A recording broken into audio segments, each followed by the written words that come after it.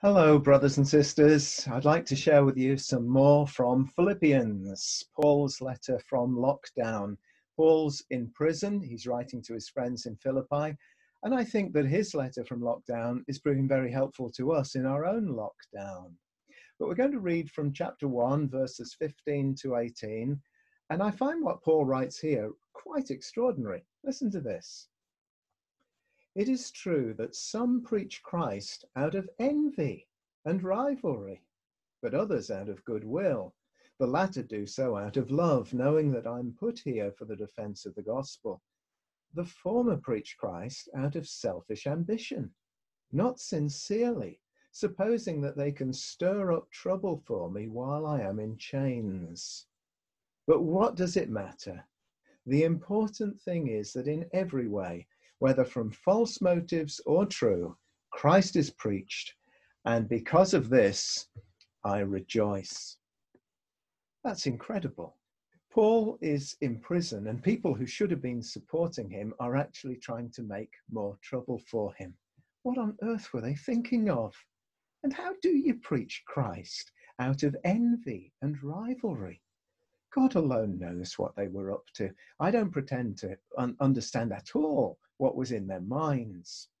But we know what was in Paul's mind Christ.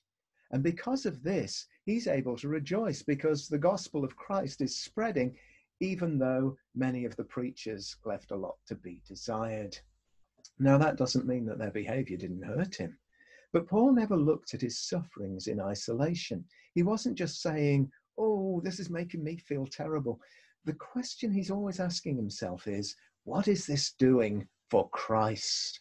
Christ is preached, he says, and that's what matters, and therefore I rejoice.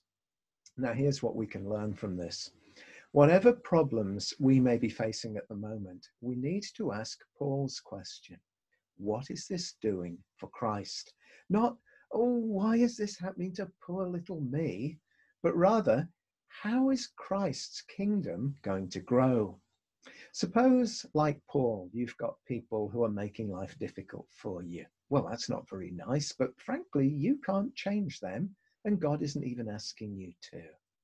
But God is concerned for what's going on in your heart, in your life, because God loves you and He is growing you, He is training you. Now, we would all like an easier life. And praise God, if we're Christians, one day we will most certainly have one because we're going to be in paradise with our Lord where sin and suffering will be gone. But for now, God is growing us, He is refining us. And in order to do that, here's what He does He lets pieces of this world die in our hands so that increasingly we are freed from asking this world to give us what God alone can give us. That's how he protects us from giving our allegiance to things which can never deliver what our heart is seeking. Now, is that a tough message to accept? Well, frankly, I think it's an impossible message to accept apart from the gospel. But the death and resurrection of Jesus Christ change everything. This God loves us enough to die for us, this God is big enough to overcome death for us.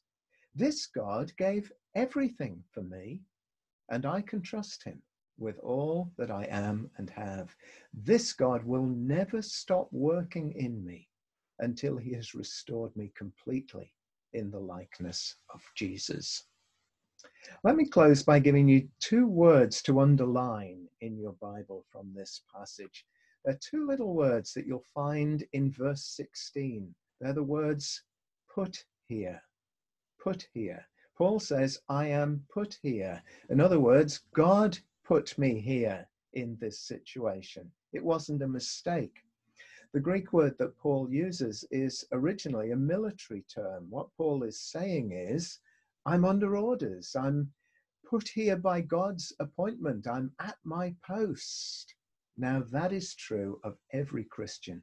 It's true of you in the situation you're in now. God has got you where you are in order to grow his kingdom in you and through you.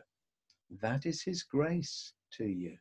It won't always be comfortable, it will always be good. And as we learn to surrender to God's grace, so He produces a glorious harvest in us and through us. Let's pray for that now. Father God, we thank you for your faithfulness to us at all times. Please, please help us to seek first your kingdom, knowing that we can trust you with everything else.